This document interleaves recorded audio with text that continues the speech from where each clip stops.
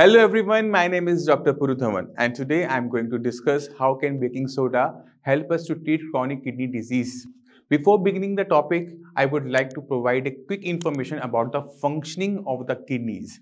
We all know that the kidney filters waste from the blood and produces urine. However, it's important to understand that our urine is naturally acidic due to the kidney flushing acid out of the bodies.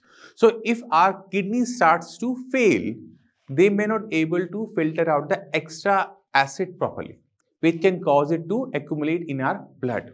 We need to understand that when blood become acidic, it harms our kidneys to a great extent. To prevent this, it's important to ensure that the blood does not become too acidic. When kidney patients realize that their kidney are deteriorating, the level of creatinine in their body gradually increases from 1 to 4. However, once the creatinine level exceeds 4, the rate of this increase accelerates significantly. This rapid increase is often caused due to the metabolic acidosis. Earlier, the damage to the kidney was caused by high blood pressure, diabetes, or even polycystic kidney disease. The accumulation of extra acid in the blood can damage kidney. Now the question arises why this rapid increase of creatinine level happens when the level of the creatinine touches 4.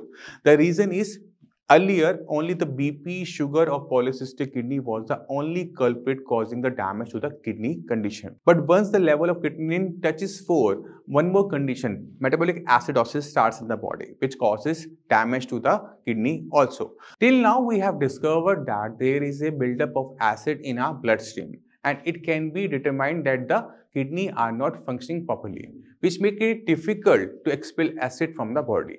So the only visible solution that remains is to neutralize the acid inside the body. Let me explain it to you with an example. If you're experiencing burning sensation in your stomach or acidity, what do you usually take? Most people take soda water or acid reflux tablet, right? If you look at the back of the tablet, you will see that it contains sodium bicarbonate, which is also called as baking soda. When you mix these two ingredients in a water, bubble begins to form, which helps to reduce acidity. But in case of patient with the kidney problem, we avoid giving citric acid as it can further increase the amount of acid in the body. Instead, we only administered sodium bicarbonate, which is essentially known as baking soda. When the substance enter the body, it helps to balance the pH level in the blood by neutralizing excess acid. By doing so, the impact on the kidney is reduced. One should also know that metabolic acidosis does not originate within the body. As I told you, sodium bicarbonate is considered a very safe substance. That's why kidney failure patient can take baking soda tablet in some form to prevent their kidney from deteriorating. You may also know these tablets by their names like such as Nodosis, Subosis and Soda Mint. And what is the purpose of this? To avoid metabolic acidosis in the body. Another thing we need to consider here is while doing a KFT test, please make a special request for a serum bicarbonate test also. Now, if your serum bicarbonate test is normal, still I suggest you to include a small amount of sodium bicarbonate tablet in your daily routine this will not cause any health problem. Now let me explain to you which fruit you should avoid if you are having kidney problem. Fruits like mango, oranges, grapes and also fruits should be avoided by the kidney patient as they can harm the kidney. Secondly, it is important to note that patient with unclear stomach may also experience metabolic acidosis problem.